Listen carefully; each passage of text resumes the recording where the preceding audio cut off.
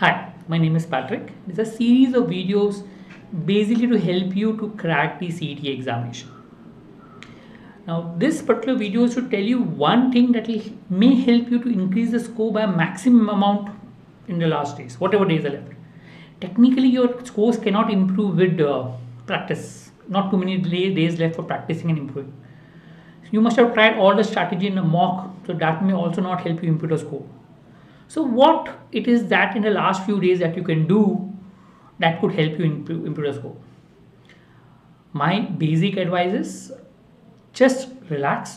Don't take CET very seriously. Okay, now this may sound not very good advice, but let me give you my own example and maybe a, some example as.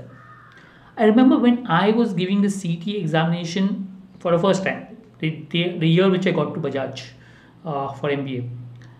So I used to write a mock test. Okay, a series of mock tests which was there conducted by a small class. There used to hardly 100, 200 people, 200 people writing the mocks. Okay, and I used to barely make it to top 10. I mean, I was just outside the top 10 always. That means in that whole mock test series of 200 people, there were 10 people better than me 10 people exactly better than me and I was beyond the top 10 which means if I talk about the whole CET people writing the CET exam there would be many many people better me. Let's be very clear. Many people who would be better with regards to CET as compared to what I was. So that was my preparation level. I'm not saying it was bad uh, okay but it was that was my preparation level. That was my level before CET. so technically since I only wanted JBIMS I had given up saying that not possible. Like beyond 10 people out here only there are many better than me. There'll be more number of people better than me, and there are very few seats in Bajaj. So I didn't have any hope for Bajaj.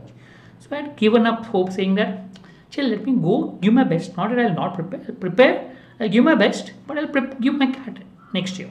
That's what the whole idea was. So I was more relaxed as far as the exam is concerned. I didn't bother. I slept late in the night doing whatever I wanted. I prepared. I'm not saying I didn't prepare, but my preparation level were not very serious. I said I'll go and give my best, but let me just relax as far as possible.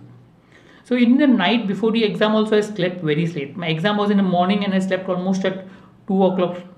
Okay, got up in the morning at 6 o'clock, hardly 4 hours sleep and went for the exam. I mean that was my serious. Not that I was preparing, no. I was watching a movie till 2 o'clock. Okay, and then that's what I did. But when the results came out, I was all India rank 3 in a CET exam. I myself was shocked. I mean, how is it possible? It not I had great hopes for the CET. But then I realized that that whole aspect about being relaxed in the examination, not having great expectation, but just going there and doing my best definitely helped me. I mean, I had a strategy in place. I went to the exam, followed the strategy, and came out without too much of expectation. Because my mind was free and not stressful, I was able to think better in the examination, and therefore, maybe I did better. I have one more example. I mean, I remember a time, this few years back, some years back, when I had gone to give a company secretary exam. So I was giving a day at foundation, inter, and final. So inter, I had registered for both groups, and a lot. I mean, a lot of books and a lot of things to study. I had no hopes on that. Morning of the exam, the exam was in the afternoon, both groups, or whatever group was there. Morning of the exam, I slept. I said that I'm giving up. I'm not giving the exam. Not my cup of tea. But then I said, no, let me get up let me go and just give the exam. What will happen maximum? I'll fail. Okay, let it fail. Let me just go and give the exam. Okay so in last moment i decided to go and give the exam and i cleared both the groups at the one attempt. And again shocked.